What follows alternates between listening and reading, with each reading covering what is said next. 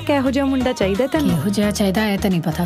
ਬਸ ਇਹੋ ਜਿਹਾ ਨਾ ਹੋਵੇ। ਹਾਏ ਓ ਰੱਬਾ ਜੇ ਕਿ ਤੇਰਾ ਬਹਿ ਜਾ ਮਜ਼ਾਕ ਮੇਰੇ ਨਾਲ ਵੀ ਕਰਦੇ ਨਾ ਰੱਬ ਦੀਆਂ ਸਾਰੀਆਂ ਗਲਤੀਆਂ ਮਾਫ। ਕਾਦੀਆਂ ਗਲਤੀਆਂ ਓਏ? ਤੂੰ ਤਾਂ ਰੱਬ ਤੋਂ ਇੱਕ ਹੋਰ ਗਲਤੀ ਕਰਾਉਣ ਨੂੰ ਫਿਰਦਾ ਹੈ। ਸਾਨੂੰ ਜੀ ਮੁੰਡਾ ਪਸੰਦ ਹੈ। ਕਾਕਾ ਤਾਂ ਇੰਜਨ ਦੀ ਟੱਕਰ ਦਾ ਕੰਮ ਵੱਲੋਂ ਵੀ ਰੰਗ ਵੱਲੋਂ ਵੀ।